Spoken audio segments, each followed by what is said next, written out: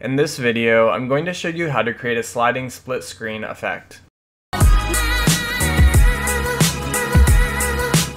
To get started, I just added a background video to my timeline and imported two clips for the split screen effect.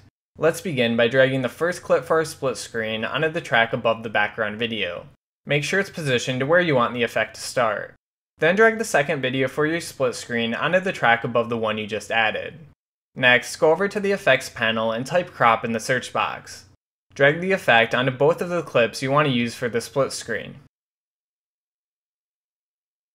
Select your top split screen clip and then go up to Effect Controls. Scroll down to where the crop effect is. Change the left and right values so that together they equal 50%. This way the clip will fill up half the screen. I'm going to use 25% for both left and right, but these numbers will probably be different for you based on what you want to crop. Just be sure that added together they equal 50. Once you're finished, go up to the position value under motion and drag the position's first value to the left to move the clip until it's barely touching the edge of the frame. Alright, we're done with this clip for now, so go back down to the timeline and click the eye toggle to hide it so that we can fully see the other clip. Select your other split screen clip and go up to Effect Controls. Once again, scroll down to the crop effect and change its left and right values to get the crop that you like while making sure that the two together equal 50%.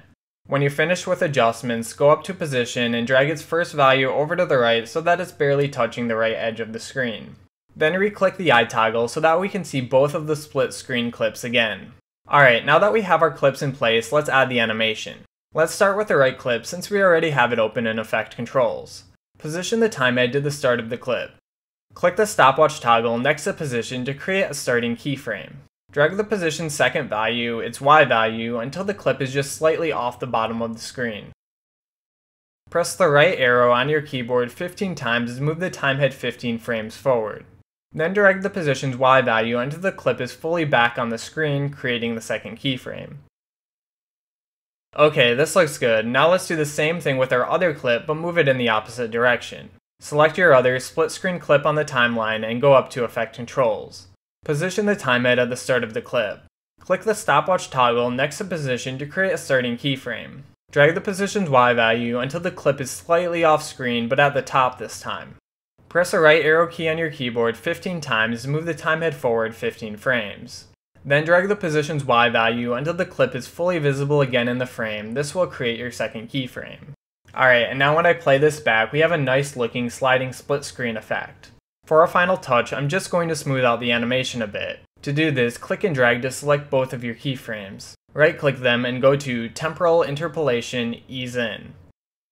Then select your other split screen clip and go up to Effect Controls and do the same thing by dragging to select both of your keyframes, right clicking one of them, and going to Temporal Interpolation, Ease In. And now when I play this back, it looks smoother and more professional. Alright, and that's it for this video. Thanks for watching and see you next time.